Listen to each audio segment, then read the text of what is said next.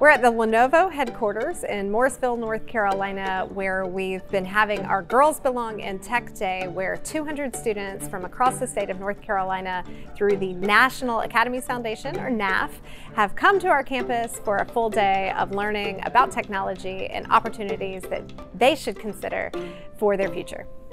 NAF is a national nonprofit, and we see of NAF as being the place where opportunity begins. NAF connects schools to businesses to ensure that they have all the skills to be career and future ready. So a lot of excitement doing a lot of the labs today, like the different engineering, like the different like shocks faces with like how the computers work and stuff was very cool to watch and see. Very exciting for me to know that I was part of the behind the scenes of this.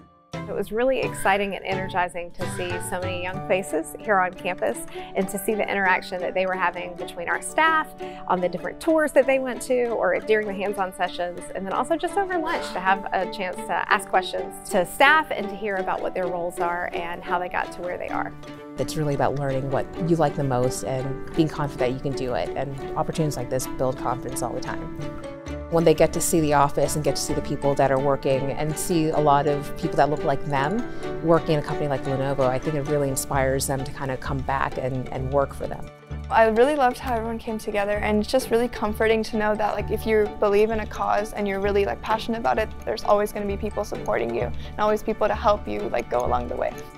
The goal of today's event was to inspire more young women to consider careers in technology for their future.